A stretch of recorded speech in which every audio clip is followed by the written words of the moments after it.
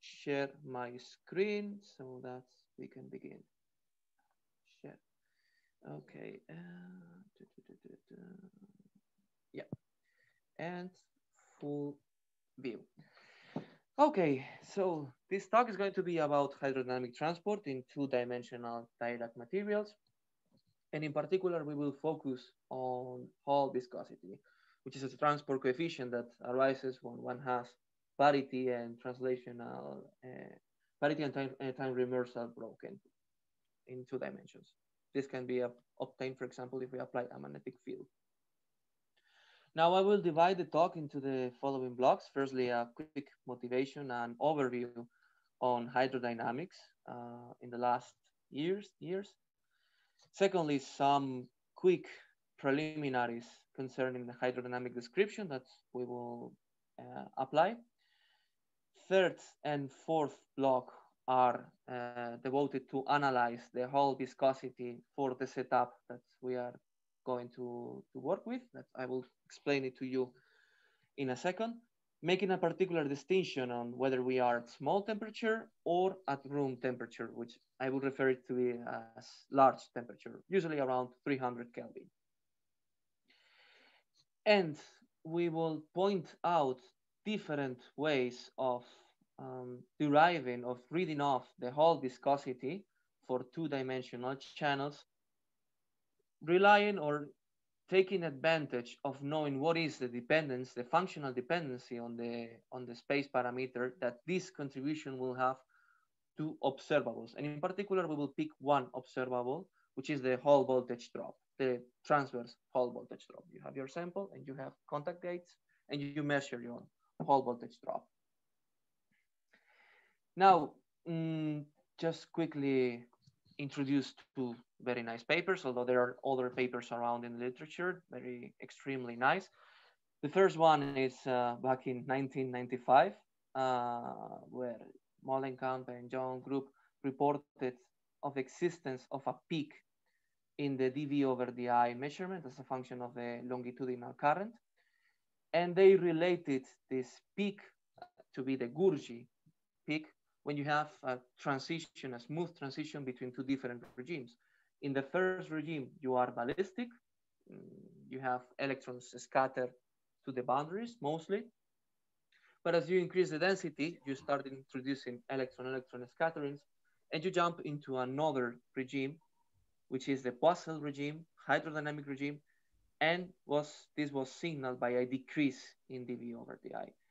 Uh, by the way, I'm very fine if you have any questions or comments at any point. So please interrupt me at, at any point. I mean, I would like if we can make this a little bit interactive.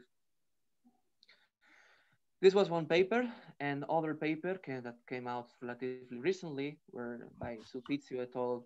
team at Weizmann uh, Institute. They visualize the Poiseuille fluid flow. So this is your this is your channel, and you have inside here the electrons that collide with each other really quickly, really fast. And when they, this whole bunch of colliding electrons moved along the channel, they got this parabolic profile, which is the Poiseuille profile, a kind of hydrodynamic profile. Now, hydrodynamics is an effective field theory valid when you are at low frequency and around thermal equilibrium. You have to be close to thermal equilibrium in order to apply it. And this statement translated into solid state systems, into electron, uh, into electron systems, yep, means that the electron-electron mean free path, which is the momentum conserving scale that you have, the one that assures that you can reach local thermalization needs to be much smaller than any other length scale that you may have in your system.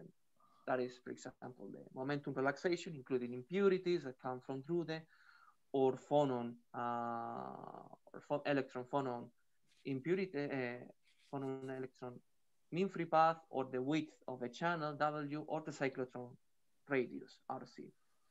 Otherwise, you are very likely to jump into Landau levels. And so now, in what remains of this talk, I will focus on the hydrodynamic fluid motion that you have for two-dimensional channels, where the fluid velocity, also called drift velocity in, uh, in, some, in, some, in some places, is referred as the Poiseuille fluid flow regime. And typically it's a parabolic-like fluid flow. So in essence, you have your two-dimensional system, you have your width of a channel, you have the length of a channel, this is X and Y direction, you have elect uh, you apply an electric field, the electrons are moved, are pushed through Coulomb force, and since they are colliding with each other a lot, this whole bunch of electrons move as a fluid. That is parameterized by a single degree of freedom, which is the velocity profile. In principle, for this setup, once you know the shear viscosity, because you are, uh, since you are incompressible, that's the only transport coefficient that enters in the game for this particular setup. However, if on top of that you apply a magnetic field, you allow for parity and, and time reversal breaking And when you do that, you allow for a new form of transport, which is the Hall viscosity. I will refer to it as Hall viscosity. And I will explain shortly what's the picture of, uh, of the Hall viscosity. What does it represent? There are some nice papers out there that derive the, the Hall viscosity from kinetic theory. I merely cite two of them uh, from Alexeev and Fornarozny. Um, essentially, these two coefficients that now represent and now characterize our hydrodynamic fluid depend on the magnetic field, on the applied magnetic field that we have through the cyclotron frequency here and here. Notice, by the way, that if you don't have a magnetic field, you get a, you get uh, that the Hall viscosity vanishes. This is consistent.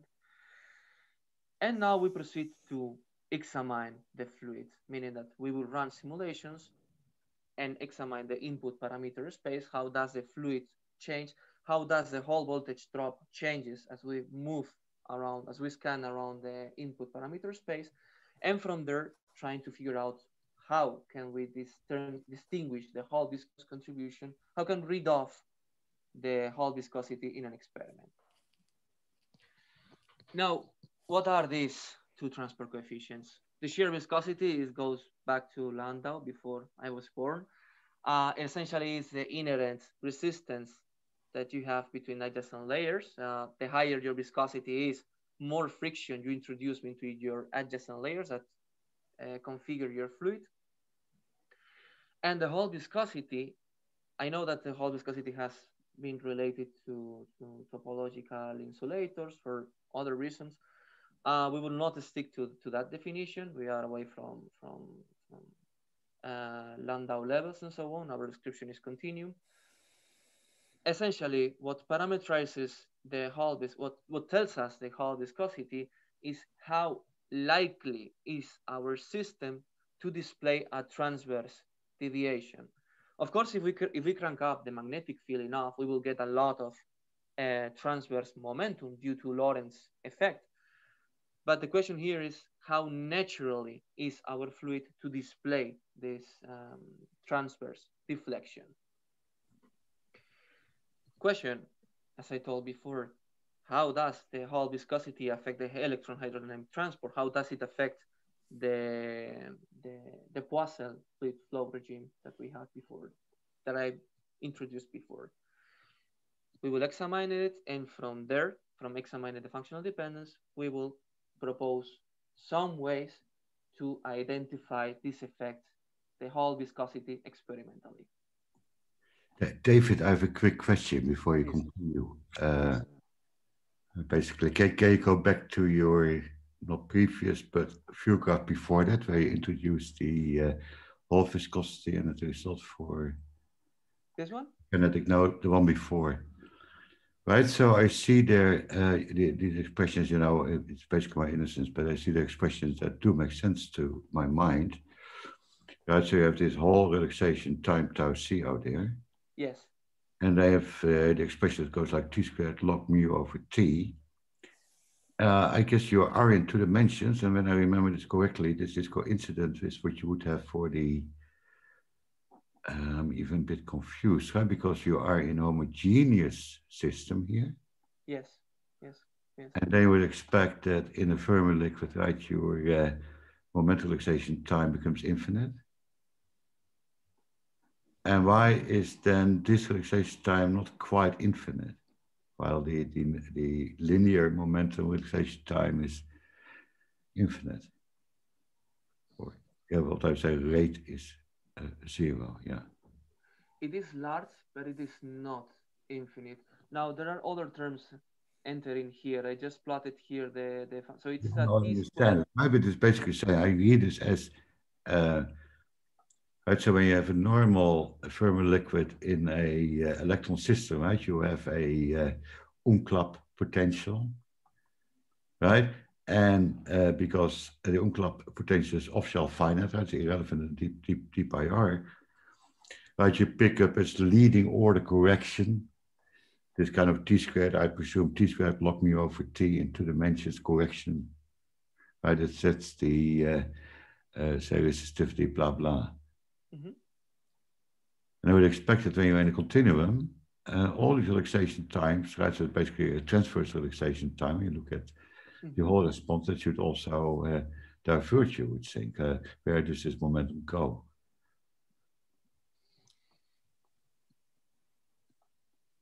With some discussion about the lighting, right? And it's basically the same theme. And I'm not pretending that I understood anything deep about the Hall uh, viscosity. A bit uh, mysterious. Mm -hmm. No, but your question is, if I am in the Fermi liquid regime, why does this not go to infinity, correct? In the homogeneous continuum. In the right? homogeneous continuum, yeah, yeah. correct.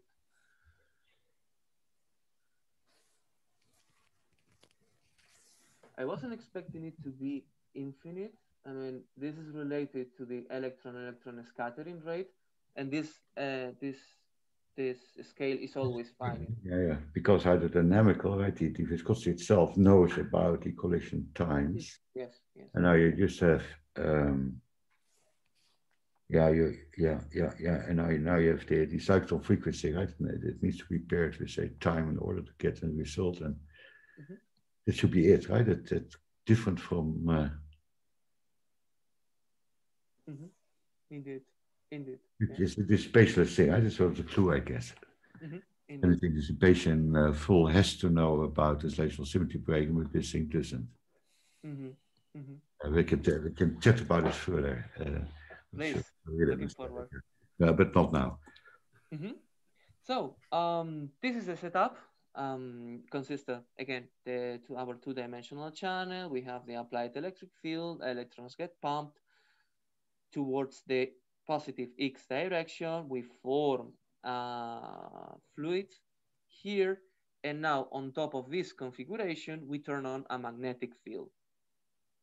Since our fluid is charged, it will experience a Lorentz force, and therefore we will have a local gradient. I mean, electrons will push, in this case, to the, to the lower middle of the channel, and we will parameterize this effect by means of this delta mu, okay? Our delta mu is a gradient in the chemical potential with respect to its equilibrium value due to the effect that we are having a finite magnetic field. Now, and this is going to be the key uh, of the talk, the most important thing of the talk, this chemical potential gradient will receive two contributions that I will explain carefully. One contribution that we will refer as Lorentz contribution will be essentially determined by how much fluid do I have. Uh, it will be proportional to the integral of the of the fluid velocity. How much longitudinal momentum fluid do I have? That's contribution number one. Contribution number two will be given by the not the integral of Vx, but to the slope of Vx. How much does my velocity profile change when I move across the channel? This effect will give us a force, another force, that that's the one we will going to be after. That one, that force will be proportional to the Hall viscosity. and therefore, what remains of the talk, and in particular when we refer to ways to experiment to, to isolate this experimentally, will be in essence ways to determine to isolate this force, this Hall viscous force, essentially. Uh, just a small remark, we will focus on graphene because we know that it behaves hydrodynamically quite well, but in principle, this can be extrapolated to any other material that you can think about that can behave hydrodynamically. There's no problem at all in this sense. Um, excuse me, may I ask a question? Uh, so this uh, chemical potential would basically uh, control the density? Is it? The yes. So, so should I think of density variation? Yes. Across, oh, so, so, okay, but is it incompressible or? Yes, it is compressible. Uh, it is compressible. It is incompressible. So it's think about of mm. water. If you try to compress it, you will generate a huge pressure gradient, and this pressure gradient will be we will see it in the in the equation. Now, incompressible. Okay, let me let me make a quick uh, statement here. It's incompressible in terms of hydrodynamics, meaning that the divergence of the full velocity profile will be still be zero.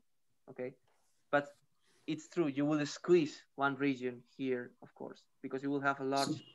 Charge. So the density is not constant across the channel, right? Exactly, exactly. So, so, so okay, so that's allowed, and uh, it is related to this chemical potential. So it's basically should be a measure of this deviation of the density. It is, yeah. This is yeah, uh-huh. proportional uh -huh. to the to the charge fluctuation. Yeah. Okay, through the some kind of compressibility or something. Yeah, partial P of partial mm, spectrum. Mm. Yeah. And okay. Mm -hmm.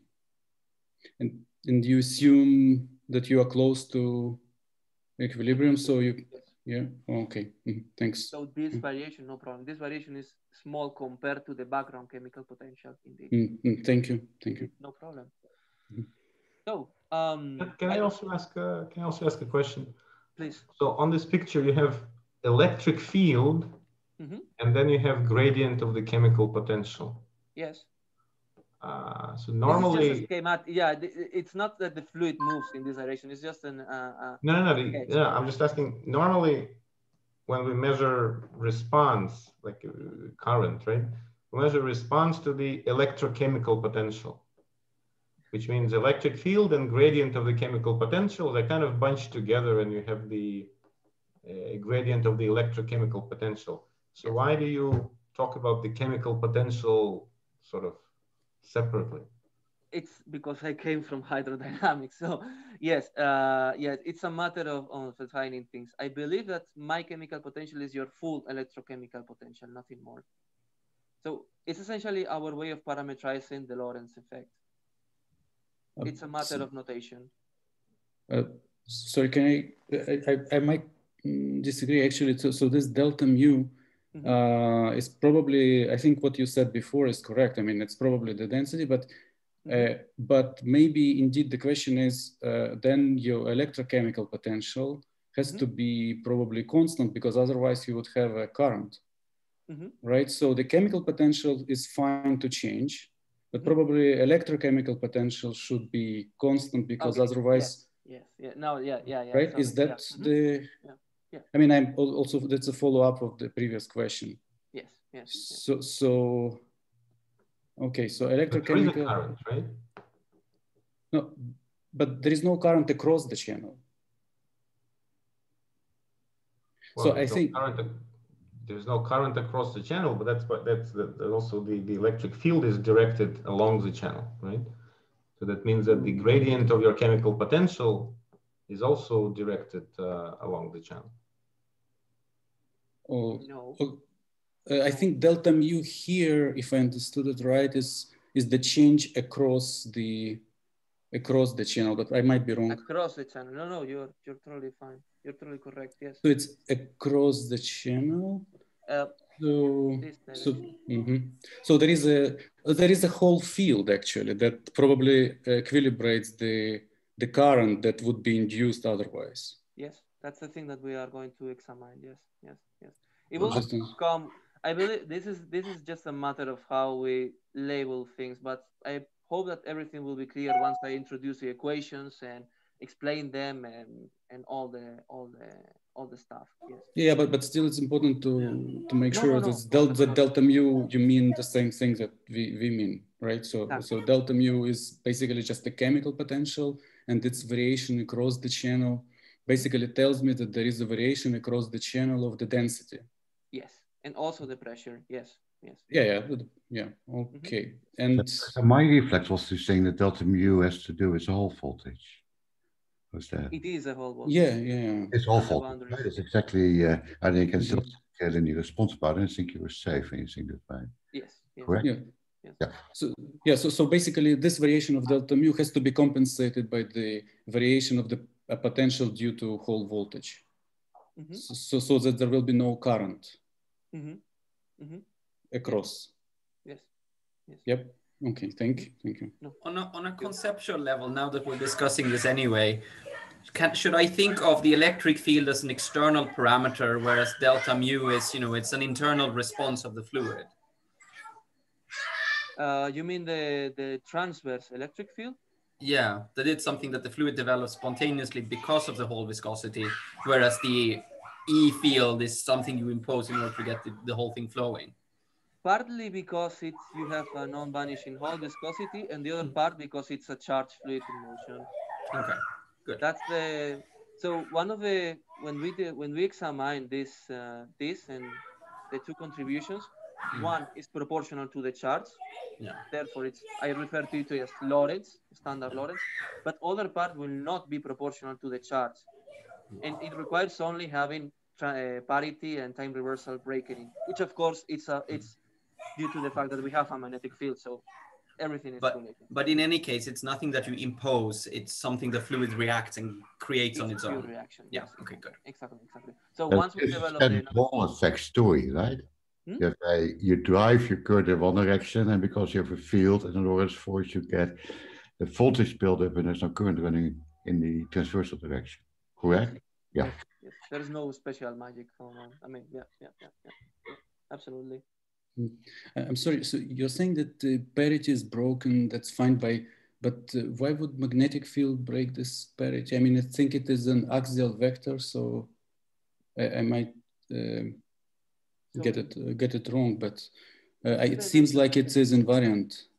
In two dimensions, you can write it as a, in terms of a vector potential, and this vector potential breaks the parity breaks the parity symmetry. Oh, the, the vector potential does, but the, the field that is the, the curl would, would not flip under the inversion, right? So this is the axial vector. So you probably meant you break it maybe by some other means, by, I don't know. I think the field breaks a mirror plane symmetry. That's the correct phrase. Oh, oh, oh, okay. So, so you need to break mirror, but mirror is not identical to inversion, to parity. So it's a different symmetry. Okay, but that's what you need, right? So you need a, to break a mirror, right? Mm -hmm. Okay, so indeed then. X to minus X by that's the, that's the, that's the point. Yeah. Mm -hmm. no, thank you. Thank you very much. Thank you. So um, fluid hydrodynamics, there are, to my knowledge, there are two ways of doing uh, carrying out a fluid description. One is take your Boltzmann equation and derive the hydrodynamic limit. You will get the, hydro, the Navier-Stokes equations, the Euler equation, and, and so on. But the description that we will take now will rely on the symmetries that you have in your system and it's a relativistic description in the sense that it includes corrections due to the fact that you are mm, your fluid may be large compared to the Fermi velocity. Uh, these are our equations. This one is automatically satisfied. We are incompressible, etc., uh, etc. Et this one will not be important for the present purposes. And the stress tensor equations, on the other hand, will give us the Navier-Stokes equation for the velocity profile, for the parabolic velocity profile, and it will give us as well the pressure equation that we will examine because there it's essentially the force equation, the, the equivalent to the to the to the Newton's force equation, balance equation. And from there we will read off our Hall voltage drop. Sorry, so, so it seems, it looks like a just relativistic uh, uh, expression with, with Fermi, uh, like a speed of uh, light. But uh, I mean, the underlying theory is not relativistically invariant, so I, I'm not sure how that comes about. Okay. I will not say anything about the uh, underlying relative uh, theory that you have. So in principle, you can take this and you can feed up with the with the equation of states that you have, and from there you do physics. This is just hydrodynamic formalism. No, I mean T, the expression for T mu nu. Yes. That you have that you have uh, downstairs below. Yes. Uh, yeah. So this one is U alpha, and then it contains. So is it expression that okay? Maybe it's not requiring um, any spe specific symmetry, and maybe it's generic. Uh, rotational. Just rotational invariance, right? Mm -hmm. Yes, yes, yes. Mm -hmm. And no bulk viscosity here. Otherwise, you would have a trace contribution here. Mm -hmm. But this U alpha, it looks like a four velocity to me. A three velocity, because we are in yeah. three dimensions. But in general, yes, it's the it's the mm -hmm. this is so the gamma factor. Yeah. Mm -hmm. Right, right. So so this gamma factor seems like something relativistic, and then you need it in order to ensure relativistic invariance, right? Mm-hmm. So I'm not sure where the symmetry comes from in this system. I mean, we have we are in the lattice, and we have I mean, it's, so then why would V Fermi plays the role of the speed of light? Because the fluid cannot move faster than the than the Fermi velocity, than the velocity of, the, of its constituents. So we are limited in that sense. So is your question of why does the Fermi velocity act as the effective speed of light in this? Yes, I might ask it this way. Yeah. Mm -hmm. Yeah uh, that's uh, because the fluid cannot move faster than the than the than the velocity of its constituents, which is the, the, the Fermi velocity. You're bounded from above. No, just there is a bound. That's that's why. Yes. That, that that's it.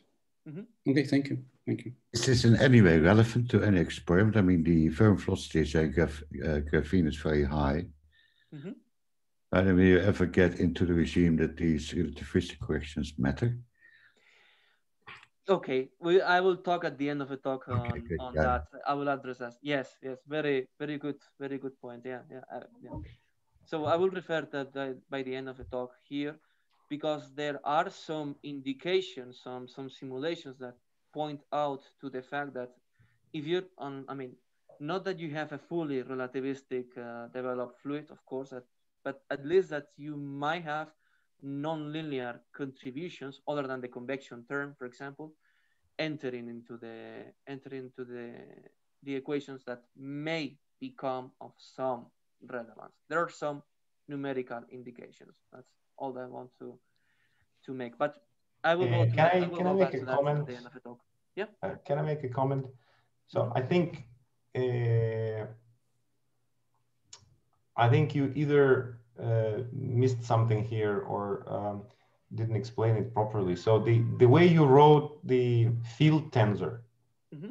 you have a sort of a fully relativistic uh, tensor for the electromagnetic field, mm-hmm. right?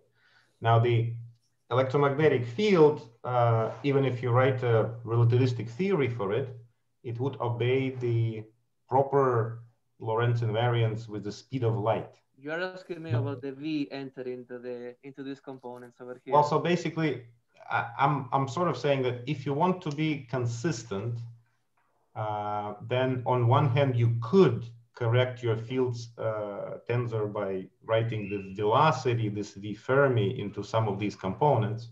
Mm -hmm. But even then, you're not going to achieve the full uh, proper relativistic description because out of the four Maxwell's equations, two will still be violated. Mm-hmm. Um, so in some sense, um, it is, so if you put this velocity into this tensor, you will have a semblance of a relativistic notation, but your system, your, your, sorry, your theory will still not going to be Lorentz invariant on one hand, and on the other hand, you seem to be studying linear response, so your velocity is supposed to be small anyway. Mm-hmm. So um, it's not entirely clear uh, what is the point to use the relativistic notation at all. the point is to have to show that when you do an expansion, I mean, you're, you're absolutely right. I didn't want it to, to overcomplicate the explanation. It's not like we are going to examine the fully relativistic theory, but we are interested in examining possible nonlinear effects, meaning that when you do your expansion in assuming that Vx is much smaller than, in this case, than Vf, you end up with a linear equation. It may happen that this equation might be altered by nonlinear effects, like for example, the convection term or other terms that might show up, quadratic terms, for example. And well, the, the, the classical the classical Euler equation is already nonlinear. Yes, due to the convection. Right. So this relativistic nonlinearity mm -hmm. is going to be uh, for small velocities is going to be smaller than this Euler nonlinearity, right? Because Euler nonlinearity doesn't have a speed of light there. Mm -hmm. Right. Mm -hmm. But still, they may be they may be important, but important. They may be also of some relevance. That's the that's the point. But yeah, okay. so the most yeah, you have the convection term, and then you may have other nonlinear terms that maybe become important, uh, relevant. Okay. Yeah. Actually, uh, it's a nonsense thing. Right? I'm kind of confused about these claims that d mu nu has anything to do with Lorentz invariance. I mean, this is the electric magnetic field tensor in the rest frame.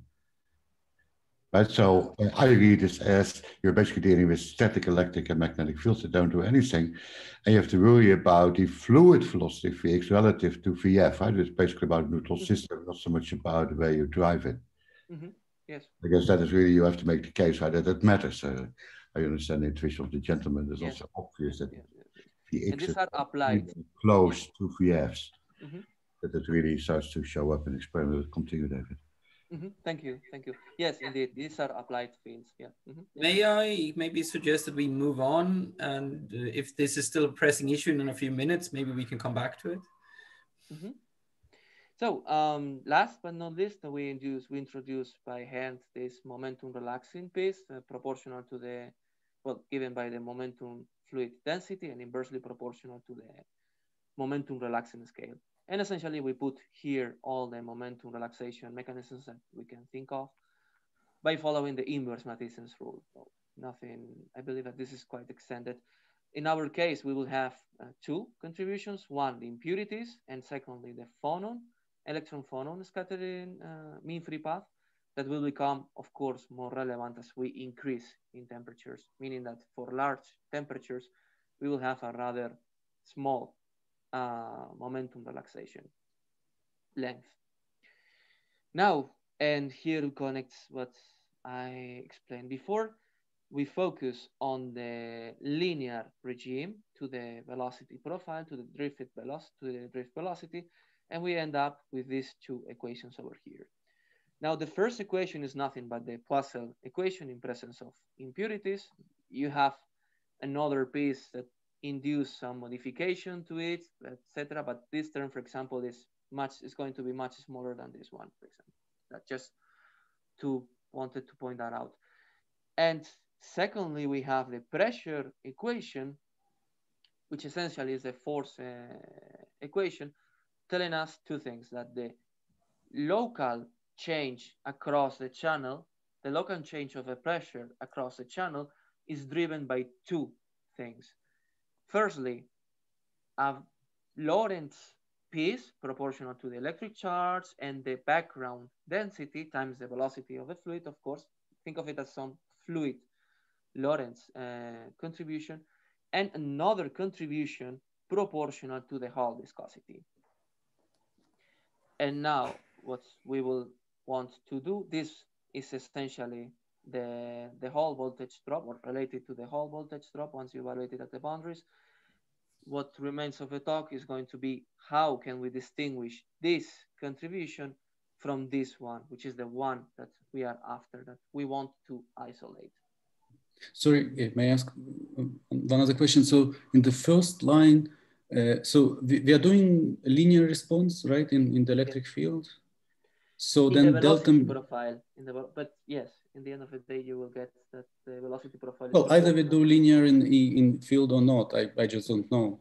Mm-hmm. So whatever you say, but mm-hmm. uh, but then delta mu also is driven by the field. So I'm not quite sure why we keep this high order terms here.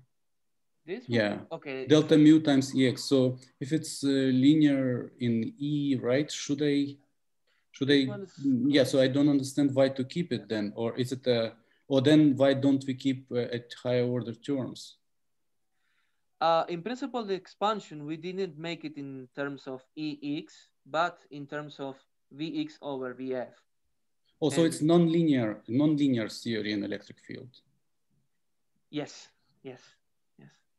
Oh, okay. So, so then, okay. So basically, then these equations are uh, have has have all these terms, uh, but you just keep the leading order in in the velocity over V Fermis. That's what you are saying. Indeed, indeed, indeed. Yes. Mm, okay, thank you. Mm -hmm. oh, wait a second, wait a second, but then I don't understand. Because um, you, you said before that the continuity equation is uh, sort of automatically uh, fulfilled and is not important. Now, continuity equation, is, so you're you seem to be uh, considering a static case, yes. right? And continuity equation is a gradient of the current. Now current is then the density times your velocity, right? Mm -hmm. So if you claim that the uh, divergent divergence of the velocity equals to 0 mm -hmm.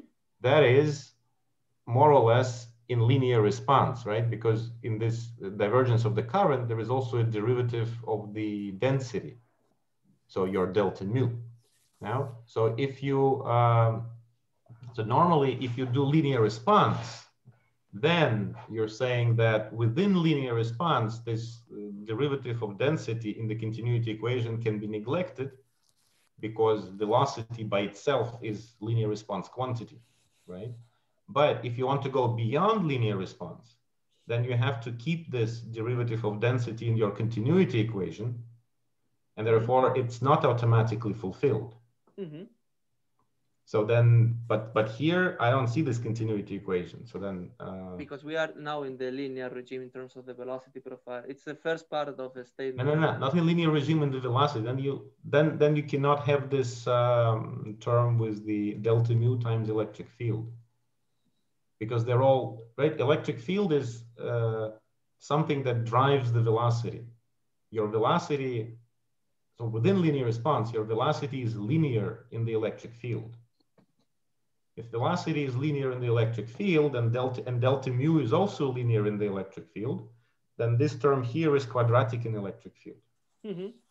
It is, of course, allowed to study electric current beyond linear response, -hmm. right? You can want to, you might want to study the sort of the next order, right? So your current would be conductivity times field plus something times square of the field, right? You can do that. But if you, and, and then this term here that you wrote, that you wrote, that term should contribute.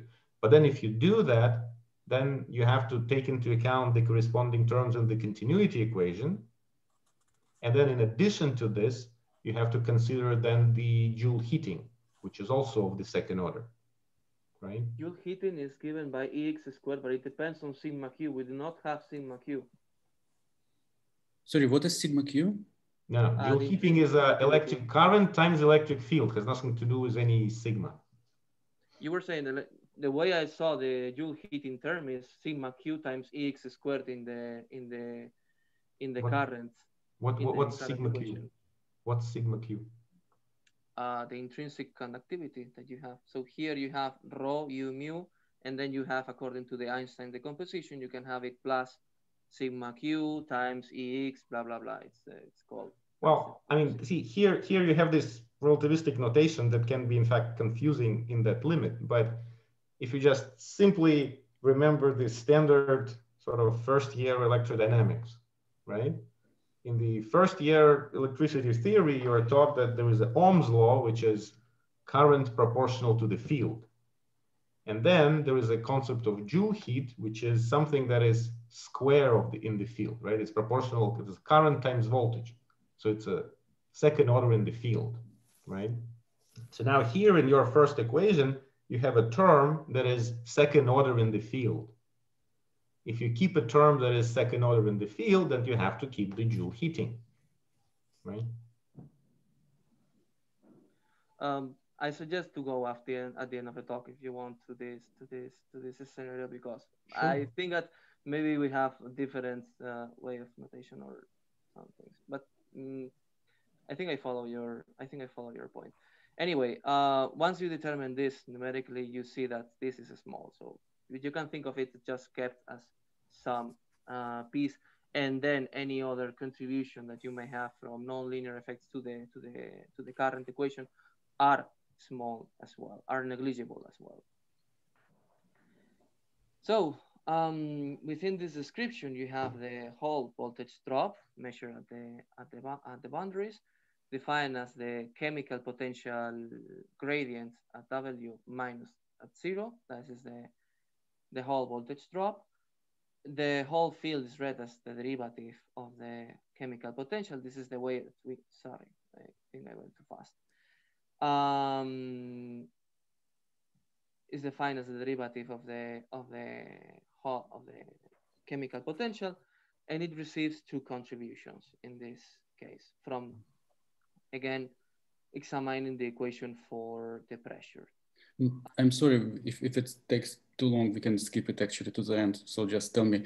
Uh, so the the the field, which is the gradient of the electrical potential, equal to derivative of the chemical potential means that basically there is a zero derivative of the electrochemical, right? So that's the condition of no currents across the channel. Is that right? Yeah. Yes, yes, yes. Okay, okay. Mm, thanks. no, thanks to you. So this receives two this receives two, two contributions that we examine separately. We have the Hall viscous contribution proportional to the Hall viscosity times other parameter and proportional to the second derivative of the velocity profile. And we have what we refer as Lorentz contribution, standard Lorentz. This stands because it has a form that resembles the standard Lorentz effect, proportional to the applied magnetic field times rho, the charge density, charge carrier density, times the velocity profile.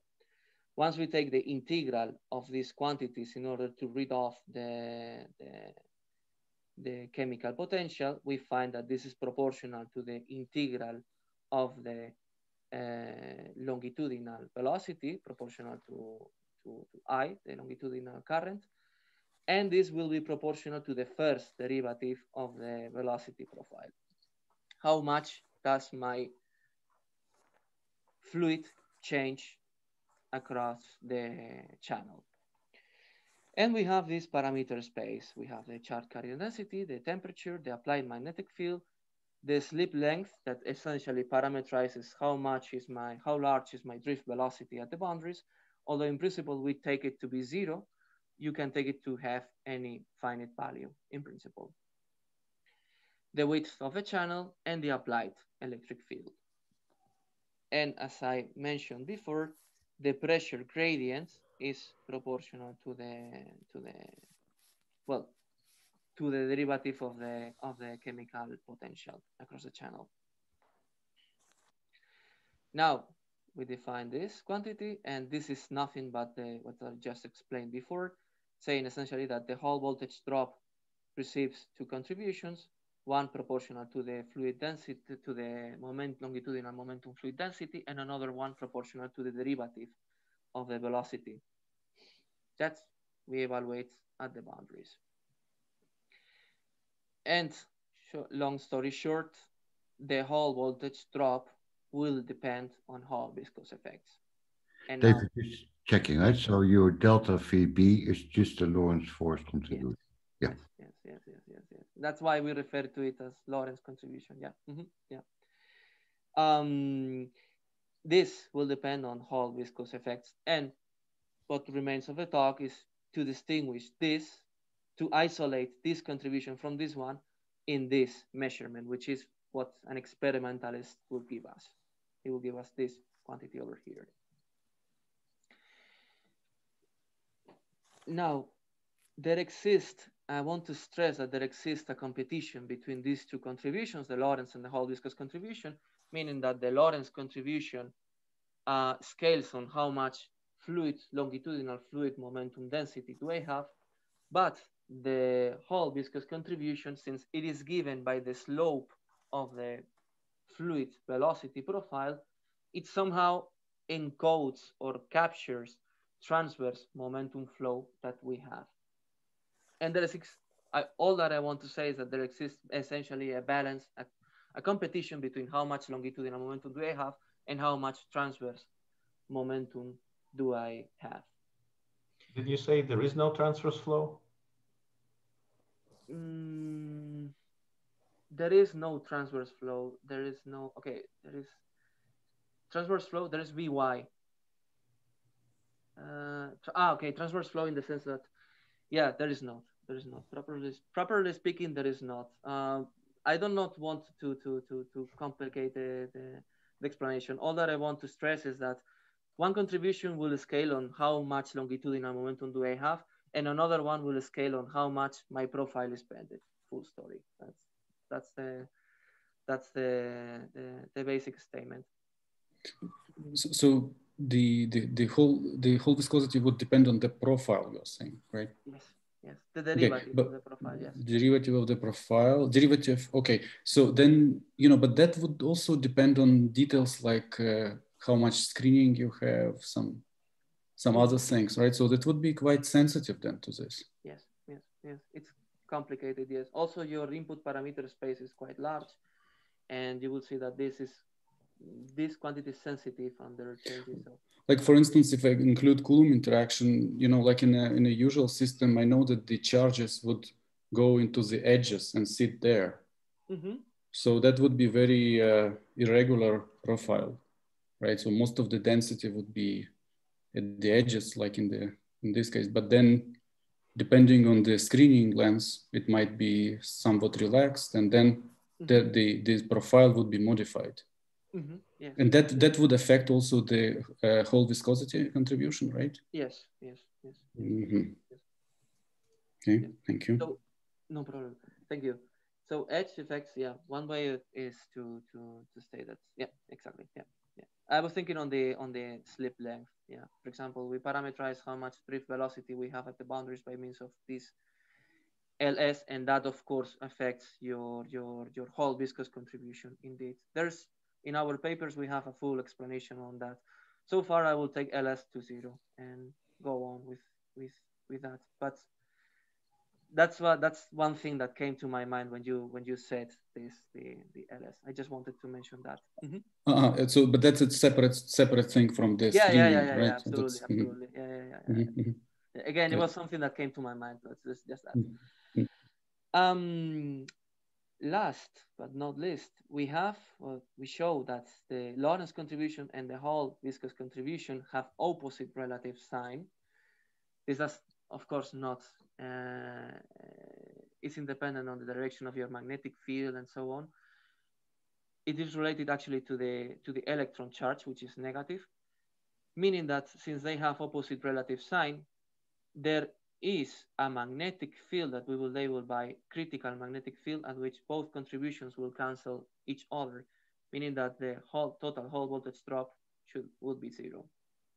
This is what we um, expect.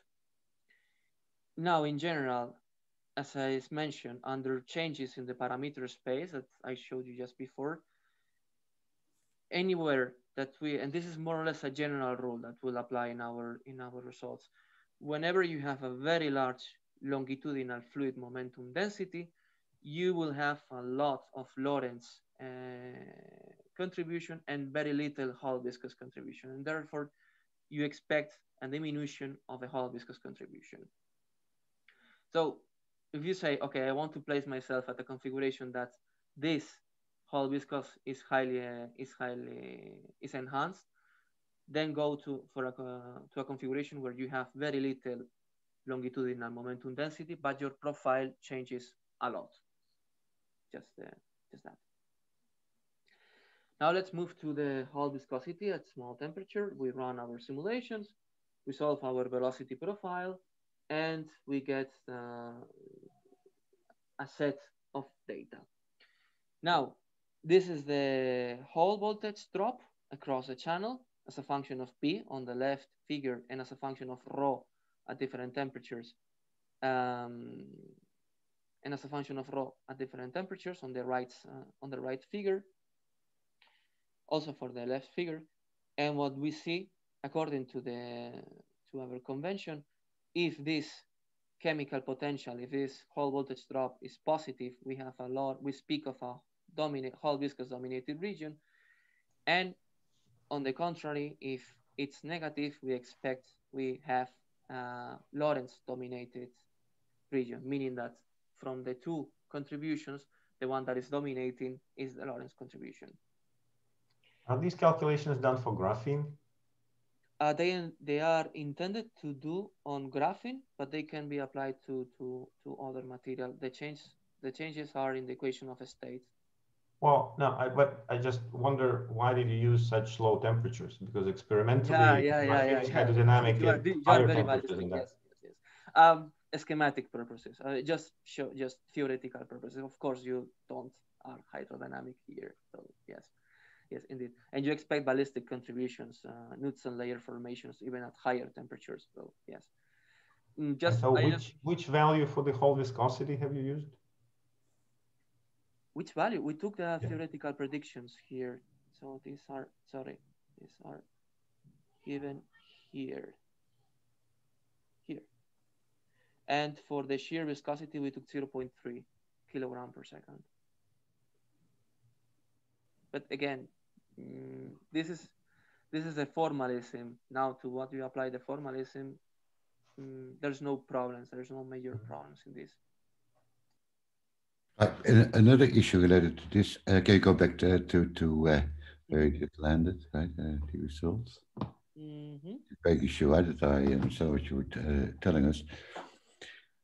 So uh, I guess you assume uh, that uh, take a situation like a graphene, right? And uh, you have to uh, go away from charge neutrality. And I guess you go with your Fermi energy above the charge neutrality point so that you have an excess of Mhm. negative carriers, right? So your Lorentz force is that associated with, with, with negative uh, charges. And I presume the, uh, the, the, the Hall viscosity contribution that's independent, I guess, of the charge of the carriers. How is that? Yes, yes, yes. That's the yes, thing, yes. So yeah, yeah, yeah. Now they are opposing. Actually, they are opposing because the electron charge is negative. Yeah. If you were talking about holes that your system is that your your charge is positive, then both contributions would should have a would have the same sign. Yes. Right, so the practical thing you should tell the experimentalists go always with your chemical potential graphene above the charge neutrality point because then the uh, signs of the two contributions are opposite and you have a better chance to see it. Yes. Yeah. Yes. Yes. yes, yes. In relation to this, there's another reason why going to very large chemical potentials, and which is related to the fact that you rule out thermal gradients. There's no problem at all when uh, when working with thermal gradients. We are actually doing uh, doing that. I will not present all results in this talk, but yes, you would talk about Nernst effect and so on and so forth. But now this, because we are in the Fermi liquid regime, thermal effects will be disregarded. And this is the second. Again, this is not a problem. This is just a, a comment I want to, to, to make. Now, um, mhm, yeah, that's this is pretty much. And this is the local chemical potential gradient across a channel between zero and W. We took five microns, for example. Left figure for 10 Kelvin. Again, this is merely uh, schematic, okay? Uh, just to show the, the theory. Again, we assume hydrodynamics applies in all, our, in all of our computations. And the left figure is at higher temperature, 100 Kelvin. Now, focus on this. This one will serve me to illustrate what I, what I want to emphasize, which is the change between a Hall viscous dominated region to a Lorentz dominated region. The violet curve is when you have a Hall viscous dominated, uh, you are Hall viscous dominated. And as we increase the magnetic field, we jump to a configuration where there is, you are, you become Lorentz dominated. Now the critical configuration that I showed you, that I explained to you before would correspond to have an S shape in your chemical potential, which I believe should be one of the greenish curves that you have here.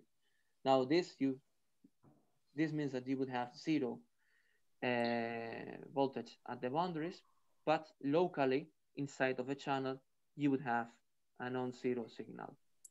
Sorry, what was the screening length that you took here? Uh, the screening length. Yeah, because you know, if you have change of the density, yes. uh, if you have some screening effects, it would tend to make it more charge neutral.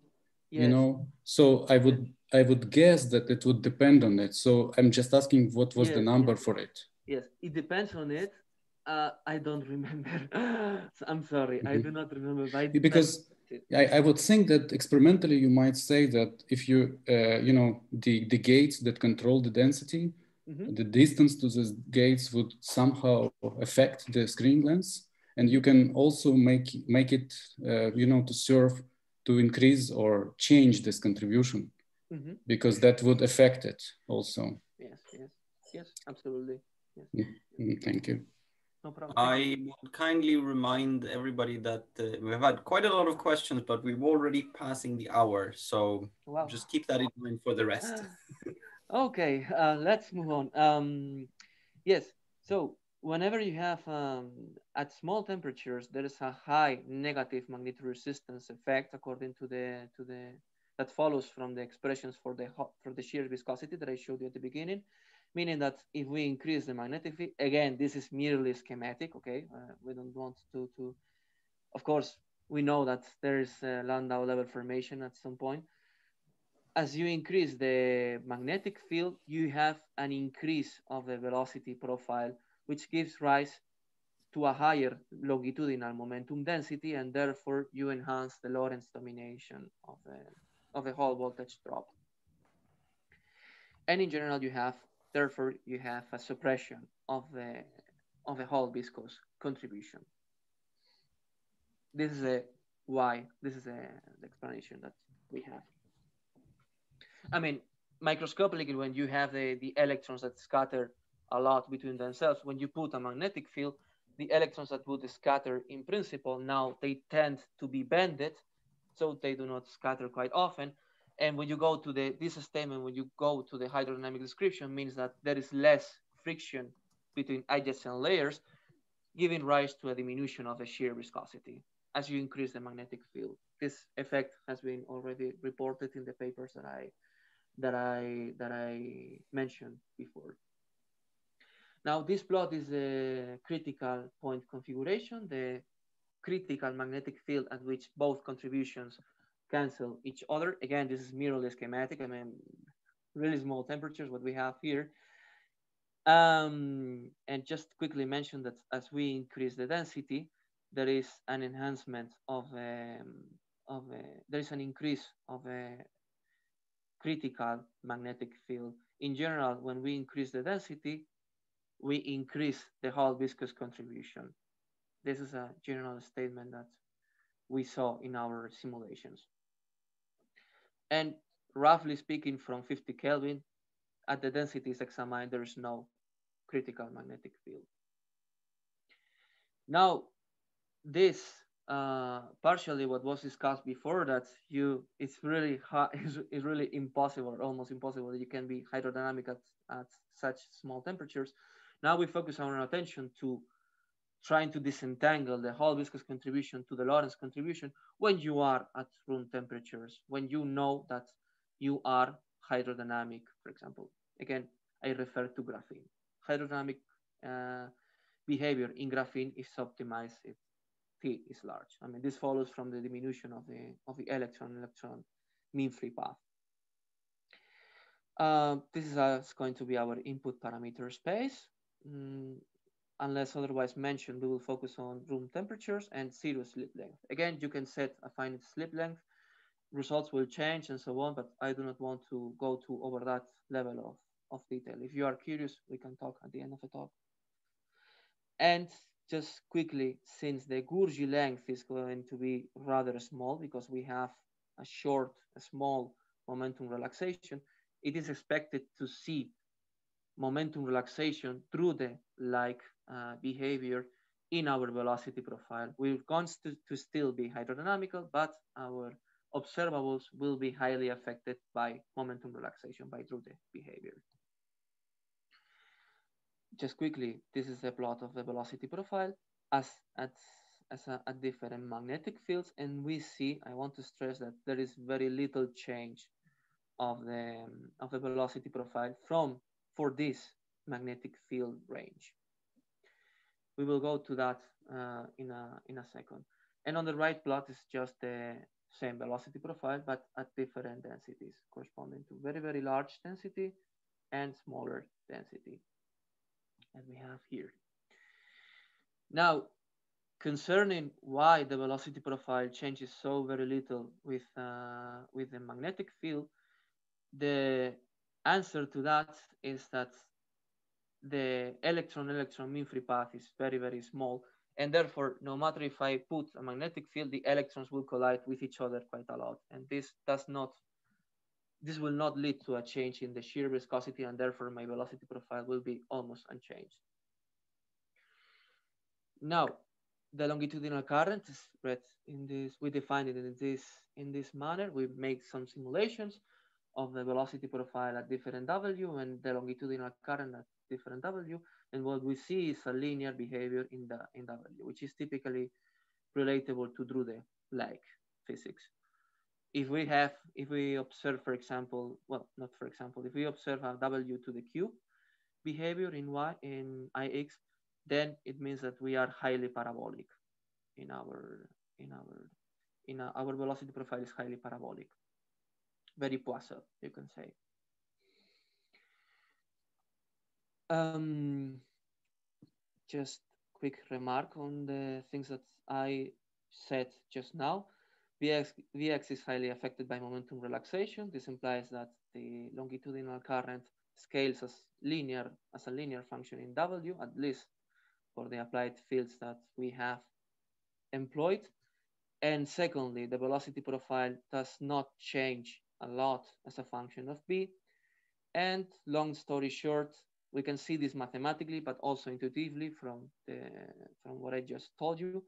Mathematically, we have this function over here, which is proportional to v squared, uh, 1 over t to the fourth. And we have, if we have a very, very large temperatures, it requires very, very large magnetic fields in order for these factors over here and over here to become important. Now, a natural question is, okay, this also multiplies this factor over here. Therefore, I would expect to have a very, very small Hall viscosity. This is a problem. Yes. This, I mean, your Hall viscosity in this regime, in room temperatures, is very, very small, but still, and that's the, the final part of the talk, there are ways to look at it because it will still become um, considerable or non-negligible in a local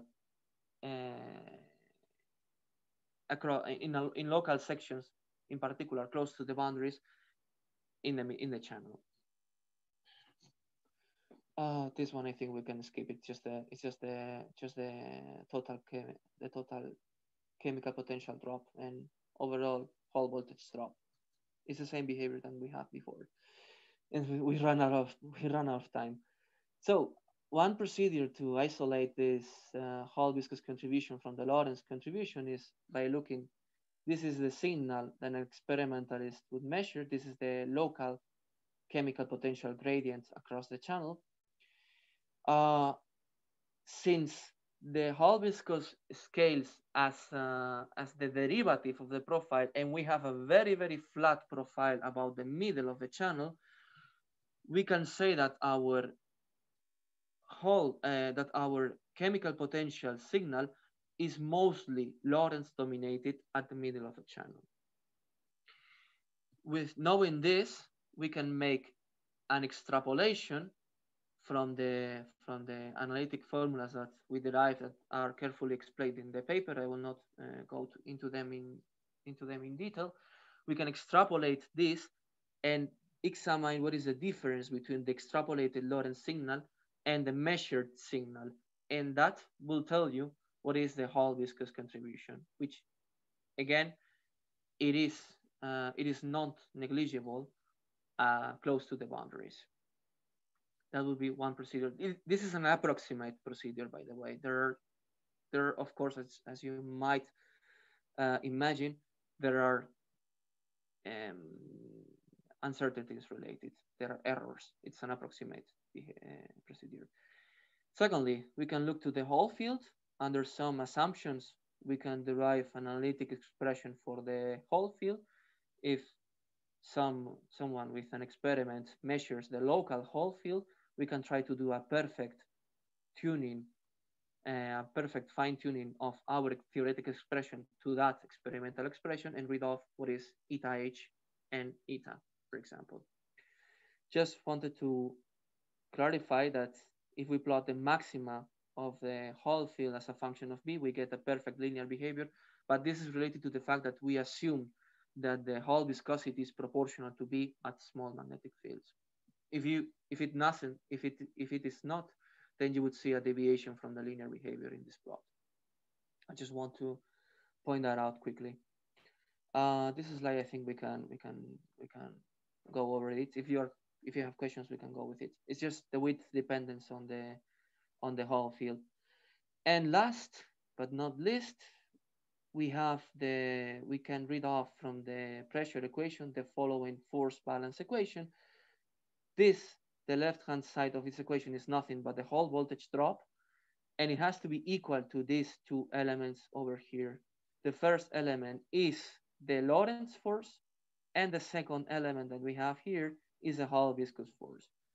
One can do simply a two-dimensional linear fitting, uh, measuring the Hall voltage drop, the longitudinal current, and the applied electric field. Of course, these are these two are related through the through the longitudinal resistance, but we just wanted to plot the results in this way. And from doing this fitting, read off what is eta h over eta. Uh, I will end the talk just with some very quick conclusions and outlook. The best configuration in general from the, from the analysis that we have carried out to see a very large Hall viscous contribution is small temperatures, large carrier densities, small applied magnetic fields, and small width channel and very, very small LS drift velocity. From there, we can say, okay, one possibility in theory, uh, maybe not to graphene, but to any other material, to estimate eta h is to go to the critical configuration at which the Hall voltage drop vanishes, and from there solve the equation, and we can read off. Uh, we can read, yeah, we can read what is the value for eta h. And at room temperature, on the other hand, we have some enhancements, although the signal, the Hall viscous signal is smaller than the than it should be at, at than the than the counterpart at, at small temperatures. We have still a non-vanishing, a non-negligible Hall viscous contribution close to the boundaries, and that allows us to point out the methods, the procedures that I mentioned to you before. One is direct subtraction, Secondly, uh, the, the, sorry, the force balance equation. And thirdly, knowing the Hall field analytically under some assumptions and do uh, an, a fine tuning. Of course, these three procedures are can be done simultaneously. There's no problem with that. And then last, uh, for the for the for the input parameters that we have examined, turns out it seems that the velocity profile can actually be if not terribly large, this is for graphene, if not terribly large, at least large enough to make ourselves think of what happens to non-linear contributions, which will have to be examined carefully as we um, and as some of you uh, of, of you in the audience asked, we have to examine them carefully. Um, yes, so yes, up to a channel width of this and from these applied electric fields, we saw that nonlinear corrections, I mean, some preliminary estimates show that nonlinear corrections to Vx may start to become important. And we can address to them. That's all, and thank you very much for your attention.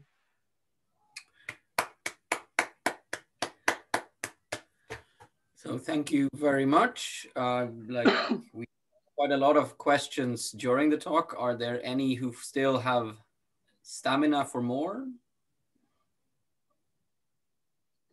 I'll take that as a no, in which case we will release the speaker uh, and we will thank him again. thank you.